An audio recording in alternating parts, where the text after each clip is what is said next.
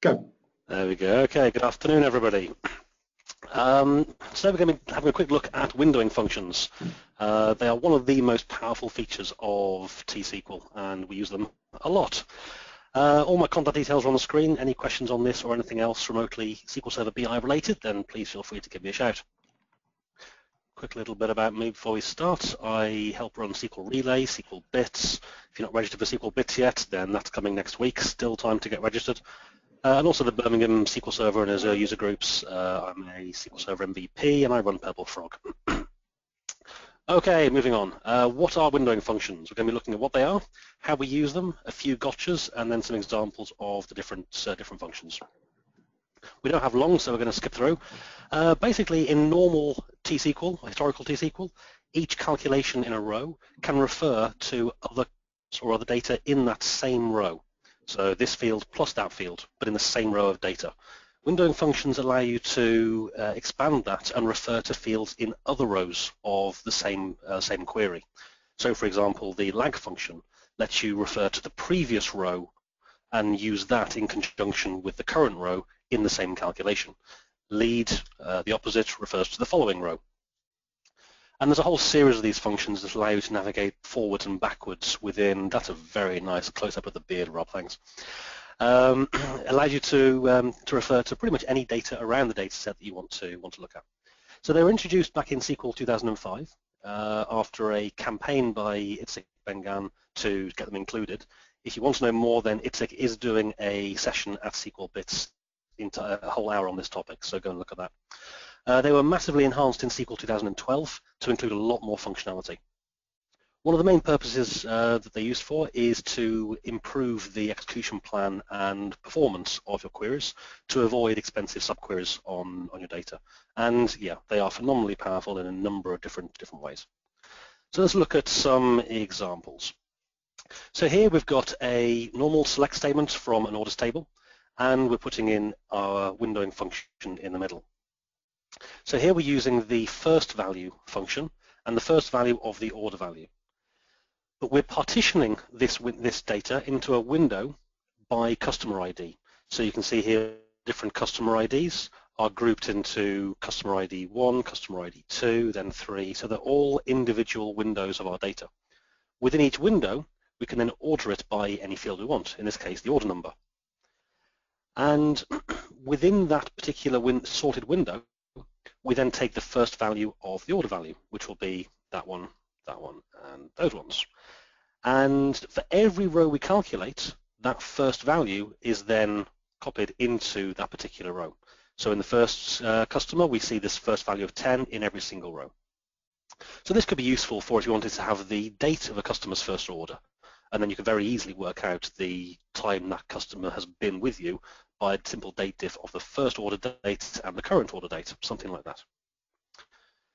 So let's move on. If we wanted to get the last value, then we can either use the first value function, but instead of ordering it by the order number ascending, we order by order number descending.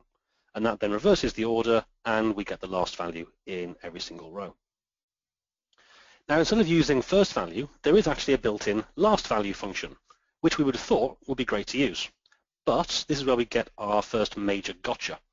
If we just use last value on its own and partition by the customer ID and customer number, then we get the wrong values. Instead of taking this value of 20 and using it for every single row, it doesn't. It just replicates the same value across. And that's because windowing functions, by default, can only look back, they can't look forward. So if we've ordered our data by order number, then we can each row can only see previous order numbers rather than the ones after it.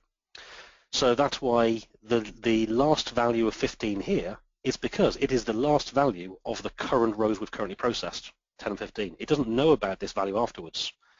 So we have to change that default behavior and override it with um, um, an enforced window frame to expand the scope to include following rows.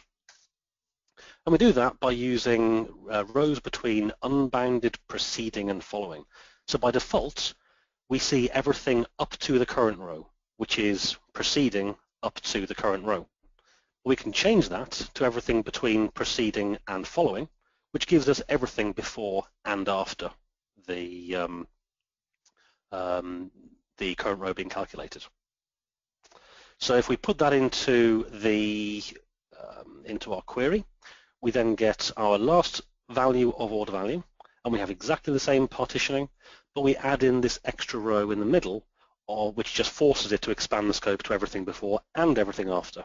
And now last value does indeed work across um, across all of our data correctly.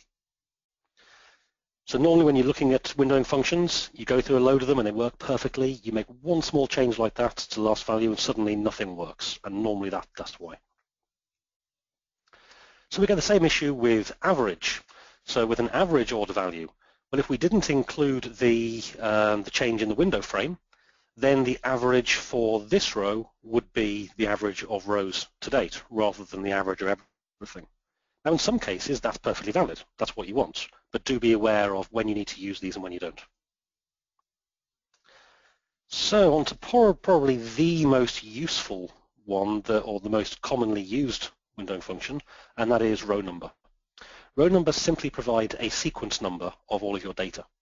And you don't have to partition the data. You could, if you wanted to, leave off that partition, and it would go from 1 to 7, is? Something like that. Uh, but in this case, we've partitioned by customer, and so we get 1 to 3, 1 to 2, 1, and 1. Now, why is this useful? Well, you may want to assign each customer uh, an individual number. Um, or one of the main uses that we use it for here is for deduplicating data. So here we've got a CTE that defines the everything from orders, but we're by order number and ordering it by date descending. And we're giving that a field called RN, row number.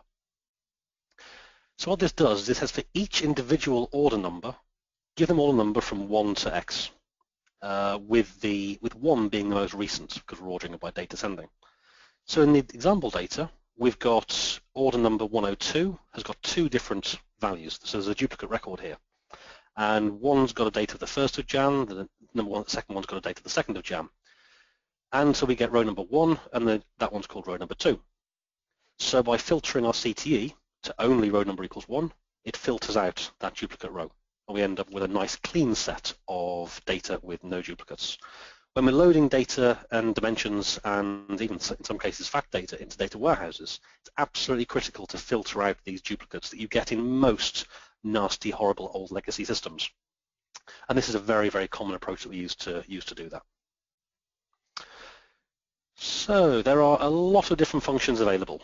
Uh, we've uh, got some average, count, row number, rank, um, multiple different versions of rank, whether it's um, if you've got two values that are equivalent, then do they sh say, uh, share the same rank? If they're both rank 3, then do you want to rank 4 or not, or do you want to jump straight to rank 5? Well, rank and dense rank do have slightly different functionality to cope with those scenarios percent rank, we've got lead and lag we've discussed before, first value, last value, etc., and some uh, cumulative distribution, percentile, etc. So there's a lot of very powerful functionality in this.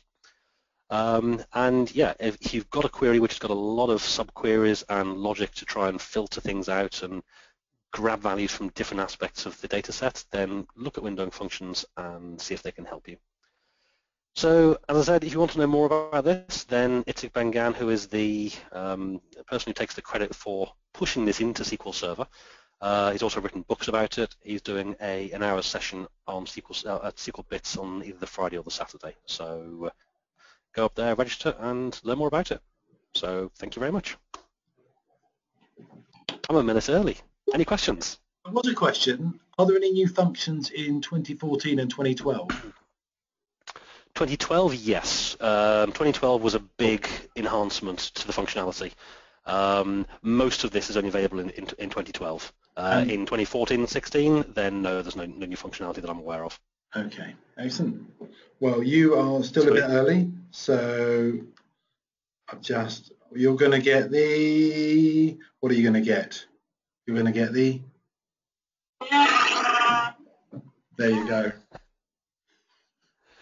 Any more questions if we've got 30 seconds left? Any more questions? Type faster, that's all I can say. Otherwise, we're going to hand over to Rob.